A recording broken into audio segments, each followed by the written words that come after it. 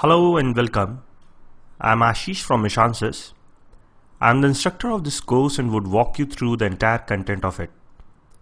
So before we begin with the course, let's have a look on the structure and outline of this course.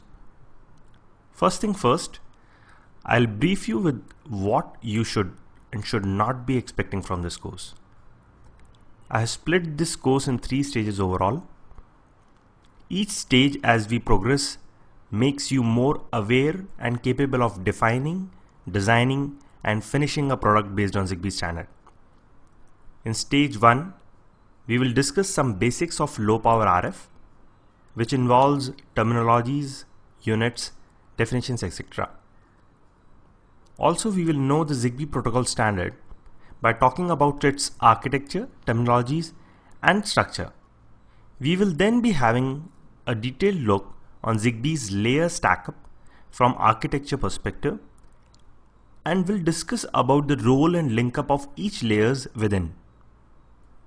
On moving to stage 2, we will first understand the prerequisites for designing a product based on ZigBee standard.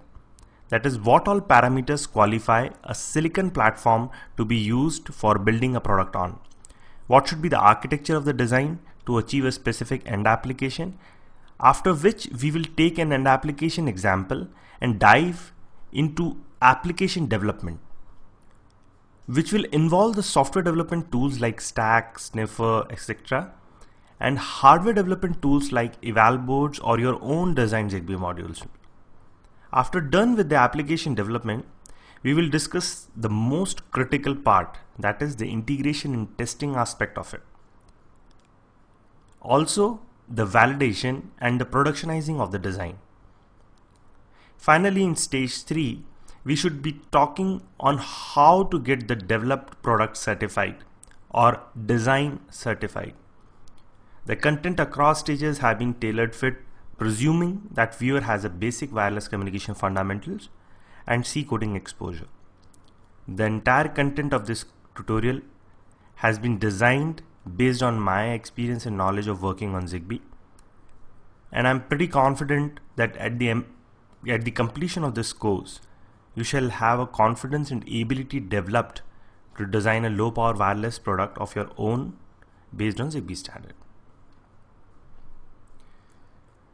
So from what to expect perspective, I'll talk about the basics of low power RF system in general and the points based on which you should be selecting the best fitting solution for your application need.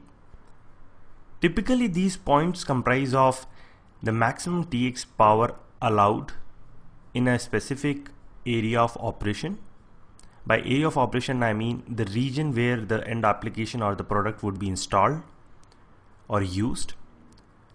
The range, the expectation of range, what kind of range is expected from this end product the power source of the design that is whether it will be battery powered or mains powered.